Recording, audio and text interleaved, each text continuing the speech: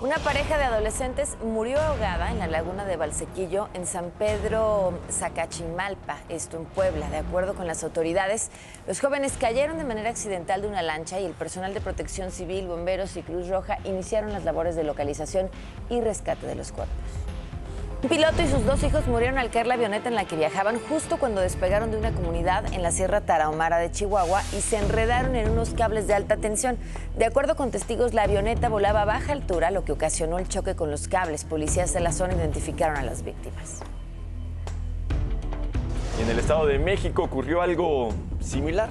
Una aeronave privada procedente de Aguascalientes se desplomó en uno de los terrenos de cultivo de Otzolotepec, a kilómetros del Aeropuerto Internacional de Toluca. El percance dejó tres víctimas mortales. La verdad sí, sí, sí, porque luego a veces pasan este, aviones así muy rápido y no se sabe uno qué puede pasar, pueden, se pueden caer por, por donde vivimos, ¿no? O sea, sí, sí, sí tenemos así un poco de peligro con esto. Pues sí, sí, de que sí nos da un poco de miedo, pero no, pues casi pasa más seguido por aquí. Nosotros por donde vivimos, casi no pasa más por aquí.